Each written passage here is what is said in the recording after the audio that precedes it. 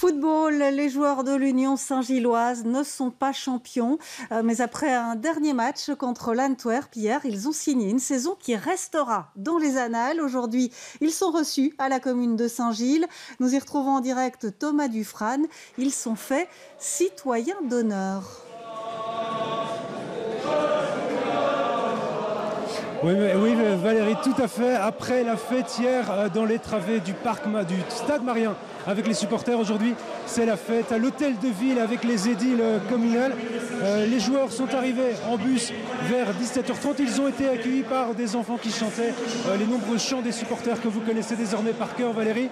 Et il y avait aussi une fanfare qui était présente direction ensuite la salle des fêtes ici où différents discours ont eu lieu, notamment celui de Felice Mazou qui était salué par de nombreux applaudissements, celui de Tony Bloom aussi, le, le, propriétaire du club, celui d'Alex Musio qui est le président de l'Union Saint-Gilloise. Des pluies d'applaudissements donc et des joueurs qui viennent tout juste de recevoir leur euh, diplôme qui fait d'eux des citoyens d'honneur de la commune de Saint-Gilles. Mais non, place un petit drink et la fête n'est pas entièrement finie Valérie parce que derrière, euh, à l'extérieur de l'hôtel de ville, il y a une cinquantaine de supporters qui sont là déjà depuis plus d'une heure à attendre dans la pluie. Donc je pense qu'ils vont bien profiter des joueurs quand euh, ce petit drink sera terminé. Eh bien, merci à vous, euh, Thomas Dufrane. Euh, voilà pour cette cérémonie qui met les joueurs de l'Union Saint-Gilloise à l'honneur.